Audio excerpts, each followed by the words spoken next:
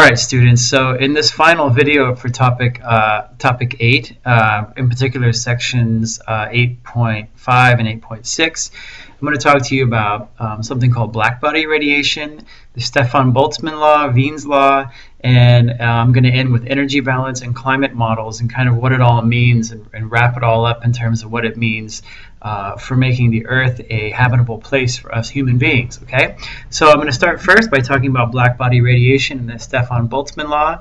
Um, re remember that uh, solids can absorb a large range of electromagnetic radiation due to their molecular structure. Okay, now you know that gases can also absorb EM radiation, but only at certain frequencies. So the other thing is when anything absorbs any electromagnetic radiation, it, it acquires temperature and then re-radiates in the infrared part of the spectrum, okay? So all bodies at any temperature radiate energy as electromagnetic waves, okay? So this is fire, a cup of hot tea, the sun, whatever, okay? We've, we've talked about emission and, and absorption spectra.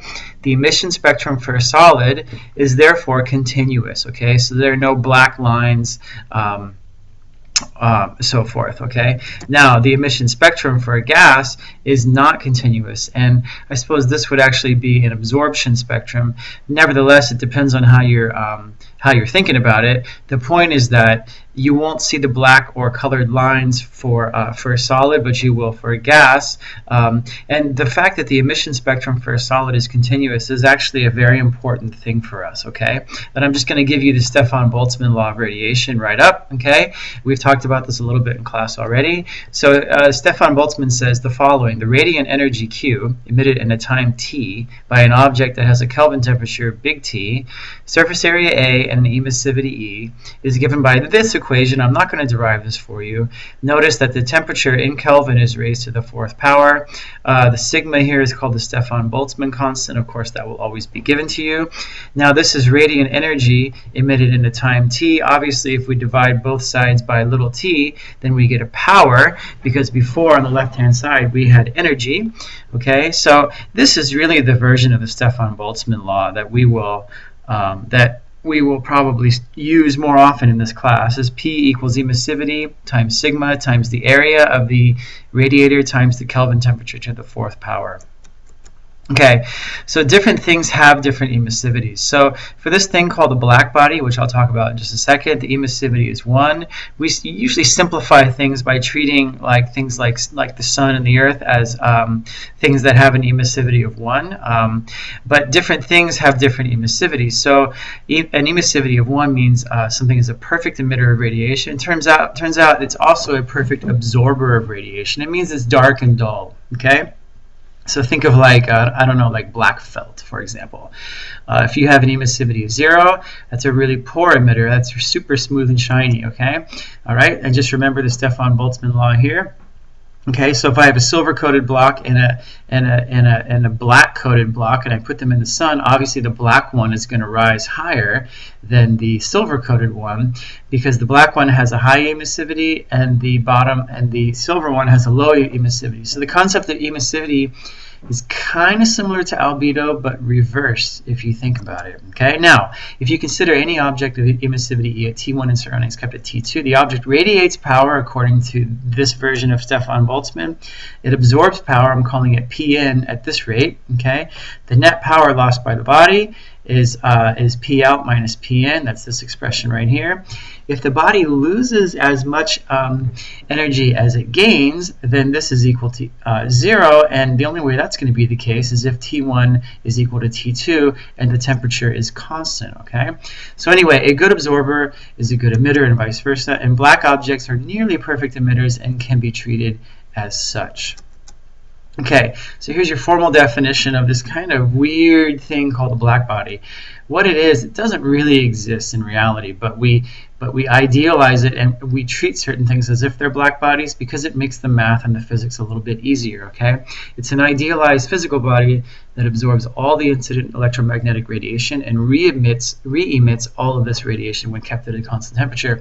And a perfect absorber is a perfect emitter, which I've alluded to before right there. That's very important, okay?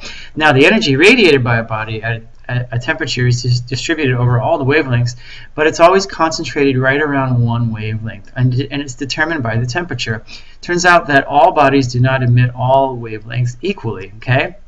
Now, if you notice from this, this is a very famous curve uh, graph, which you'll see a lot in this class, okay? And it's a graph of intensity of uh, radiation against the wavelength. So you can see that a couple of things happen as the temperature of the body goes up. And this is like anything radiating at this temperature, okay? Um, you can see that as the temperature goes down, okay?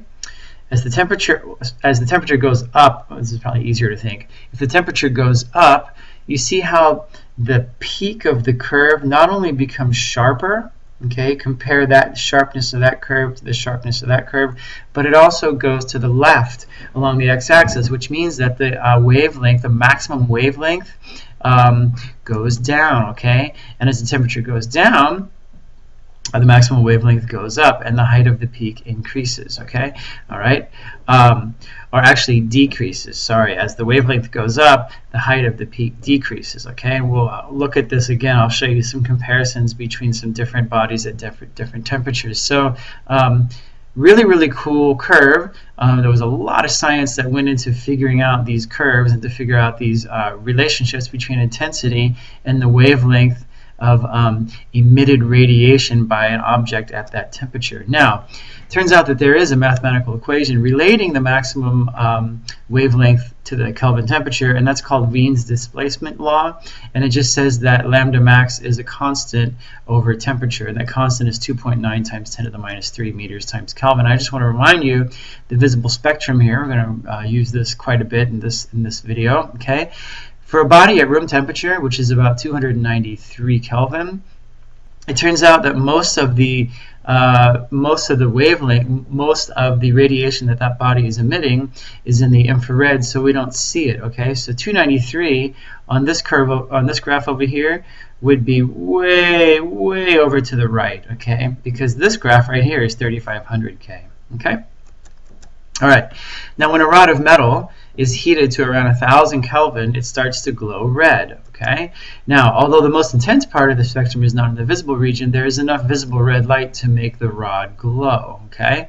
All right. Now, the Earth's surface at 288 Kelvin emits radiation at about a maximum wavelength of 1 times 10 to the minus 5 meters, which is in the infrared. Okay, which is the whole basis behind the greenhouse effect, as we've discussed.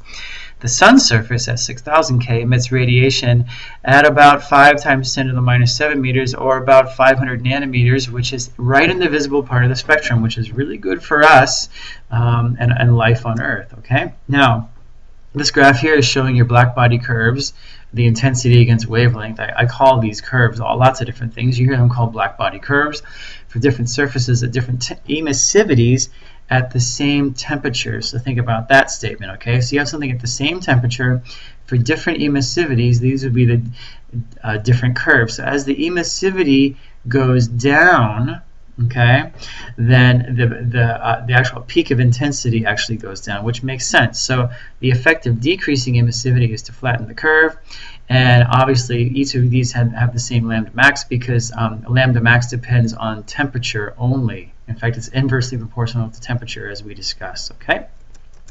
All right, so when we analyze the intensity against wavelength curves, for the uh, um, electromagnetic radiation emission, we always treat the body as a black body, okay? So here are some curves just to um, compare things for you, okay?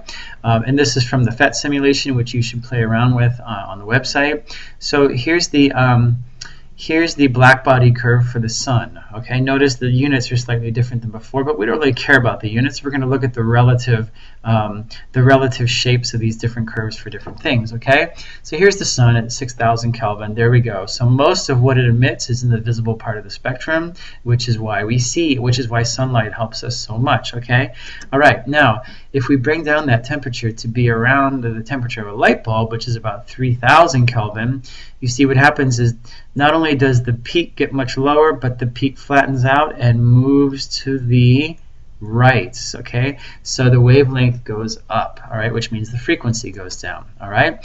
If we take it even farther, we go down to an oven at about 650K, note that I've changed the y-axis scale you see how far away we are from the visible part of the spectrum. Okay, Re remember that this graph here is scaled differently than the first two.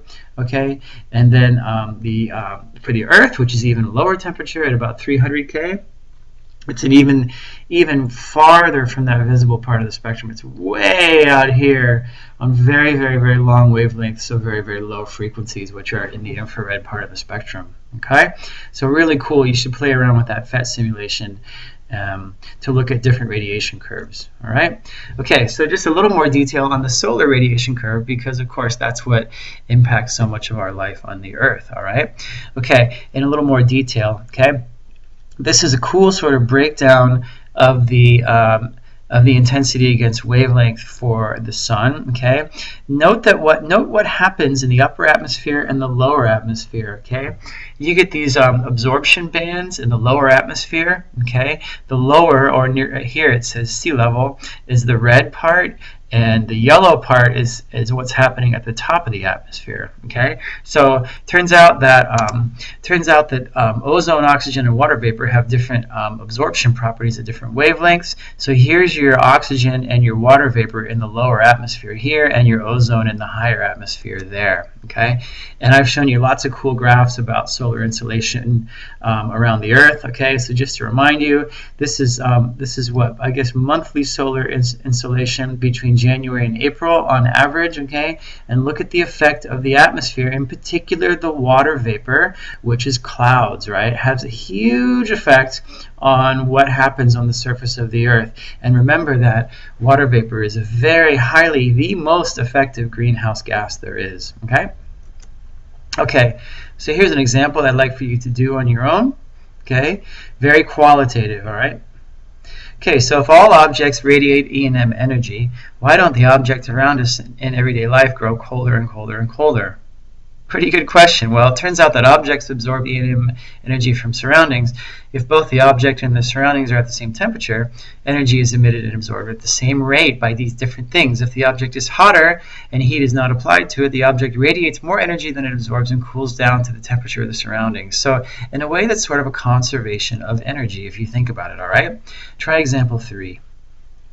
Okay, so red star, turns out we haven't studied astrophysics, but stars have different colors, okay? If a red star and a white star radiate energy at the same rate, can they be the same size? If not, which must be larger, okay? Remember, the size is dictated by the A in the Stefan Boltzmann law, okay? The red star must be cooler than the white star. So, if it is to radiate energy at the same rate, it must have a larger surface and hence larger surface area, okay? All right? and remember, here's Wien's displacement law right here. Okay, so you want to think about these sort of qualitative answers that I provided. You know that in this part of the course, the IB really is looking for qualitative answers, not so much analytical or quantitative, although I'm going to do a few more of those kinds of examples here um, in the next slide, okay? All right, so let's start really basic and go back to kind of basics. I know that you know how to do this, but I'm just going to review. Um, go ahead and read this, this uh, example. Okay, the amount of energy in one photon of light, remember E equals HF or HC over lambda. I got 3.3 times 10 to the 19 negative 19 joules, which what I guess is about two, a little bit less than two electron volts, okay? Now try this one, the temperature of the surface of the sun. Okay, use Wien's displacement law to calculate the most intense wavelength. Again, very, very simple. Uh, lambda max is about 480 nanometers. It turns out this is not really in the yellow because the temperature of the sun, this is, a, this is actually somewhat of a high estimate. It's really about 5,800 um, Kelvin. But anyway, it's right there in the visible part of the spectrum. This is a little bit sort of between green and yellow. All right? Okay, now this, this example is a little more interesting. Try this one on your own. Okay, this I give you the sun's radius. We say it can be treated as a black body. Use Stefan Boltzmann to calculate the power per square meter emitted from the sun. Well, the power per square meter is just Stefan Boltzmann minus the A on the right-hand side. I got 7.35 times 10 to the 7 watts per um, watts per square meter. Okay. What's the total energy radiated by the sun? Well, that is the power. That is this equation right here, and that's a lot. That's four and a half times 10 to the 26 watts. All right. Okay, here's a, a, much more interesting question, getting a little more complicated here. It's about the star Betelgeuse. It turns out that Betelgeuse is a supergiant star. we know its surface temperature. Okay, it's about one half the surface temperature of our sun. Emits radiant uh, a, a, radiant power about one uh, about 10,000 times greater than that of our sun. Assuming it's a black body and spherical, find its radius. Okay, try this one on your own. Okay, so your radius is embedded in that a, a variable on the right hand side. All you do is you solve for r. I got 3 times 10 to the 11 meters. Um, that's the radius of the star. Now just to put things in perspective, okay, uh, the radius of Mars is about 2.3 times 10 to the 11. The average radius of the Earth is about 1.5 times 10 to the 11 meters. Okay, this is a really big star, and we're lucky that our star is not a supergiant, although someday our sun will probably become a supergiant, but we're not going to be around to uh, witness that, okay? Okay, another example, try this one. Okay, this is really uh, sort of a problem dealing with, I guess, the conservation of energy.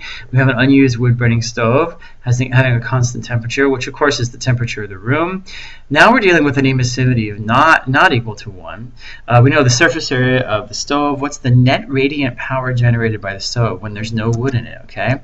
All right, well, I got 1280 joules by Wien's law. Okay, that's just this lump of metal that's sitting there radiating at an emissivity of 0.9. Okay, now the net power generated by the stove is the power emitted by the stove minus the power emitted by the room and absorbed by the stove. It's the conservation of energy, right? It's 1280 minus 1280. It turns out that there's no net power generated by the stove, and this is the reason why it goes back to that first example that I did, that qualitative answer about how how come things aren't getting colder and colder and colder without limit? Well, this is the reason why. When something emits, something absorbs and vice versa. So we have to think about the system and its surroundings, not unlike what we did when we studied thermal physics and thermodynamics, okay? Okay, we'll talk a little bit now about energy balance and climate models very briefly. Okay, you should be aware again that at the top of the atmosphere, the ozone absorbs mainly UV and X-ray radiation. About 20% of the incoming radiation is absorbed by ozone at the top. The lower atmosphere, it's water and carbon dioxide that absorb the infrared radiation, about 30%. Okay, so about 50% of the incoming solar uh, radiation actually makes it to the surface. Okay, now the Earth has a constant average temperature of about 15 degrees Celsius, or it's about 293 Kelvin, and it acts as a black body. So because it acts as a black body, we can assume that the power in equals the power out. Okay, now here's something I haven't really shown you guys, different layers of the atmosphere, the troposphere, the stratosphere, mesosphere, thermosphere, so forth. Um, okay, so the ozone layer, you've heard about the ozone layer, that's considered the top of the atmosphere, okay? Which actually in this grand scheme of layers is not that high, okay, but we treat it as the upper atmosphere, okay? Now, this graph here is very interesting. This is showing you the percent absorbed um, for different parts, uh, for different regions of the spectrum in different parts of the atmosphere. So here's your ozone. Your ozone absorbs most of the UV right here, okay? And your carbon dioxide and your water absorb most of the infrared. What absorbs the visible? Well, not much, which is why we see, which is why there's a lot of visible light on the Earth. That's, that's really good for us as human beings, okay? Now, again, Earth has a constant uh, average temperature, acts as a black body, so since uh, the intensity is power over area and albedo is reflected power over total incident power, the power delivered to, this, to a surface area can then be um, can then be quantified as 1 minus the albedo over A, okay? So this is a super simple model, okay? It doesn't account for many factors such as, as an atmosphere, okay? So in the simplest sort of Sankey diagram, I guess you can think of for the Earth, if there's no atmosphere, the total energy in equals the total energy out, and here's you 1 minus alpha times I, um, which is what we talked about in this equation right here, okay? Now, um, here's the Sankey diagram uh, with the atmosphere taken into account. Okay, so here you go. So um, you can actually come up with an albedo for the atmosphere based on this diagram, which I will I will show you in the next slide. Okay. Um, and these, uh, these are all from your Hamper textbook. The 342 that's coming in from the sun, where he gets that is that's the actual watts per square meter um, that's average over the entire sphere of the Earth from the Sun. Remember, the um, the solar constant is 1380 watts per square meter. Now, again, with an atmosphere, but with no greenhouse effect, you have a situation like this. Now, with the greenhouse effect, it becomes it, it gets more complicated. First of all, we can calculate the albedo of the Earth from this Sankey diagram, noting that a total of 342 units come in and a total of 107 units go out. now, albedo doesn't take into account the uh, units that are coming out because of greenhouse gases and, re- and the re-radiation of infrared radiation by the Earth. Okay, now you should study this uh, Sankey diagram carefully and note a couple of things. most importantly, there's now more energy in the atmosphere than the original 342 watts per square meter, and that's because of the greenhouse effect. That's what we've been talking about the whole time with the greenhouse effect. And this little squiggly line right here, this is energy. This represents energy partly lost by convection and phase change of seawater, liquid to vapor. Remember how much is it? 70% of the Earth is covered by oceans, so this phase change of seawater um, is actually really, really important in the energy balance of the Earth. The whole point is to show you how sort of fragile and precise the whole energy balance is. And if we mess mess with the greenhouse gases, this whole balance gets out of whack and things get abnormal and bad for us as humans. Okay. Here's another detailed, even maybe even more detailed Sankey diagram from your Tsokos textbook. Uh, and the total incoming intensity here is 100 units, slightly different than the previous one but the bottom line is the same. You end up with, with more energy in the atmosphere than, than what is just coming in, okay?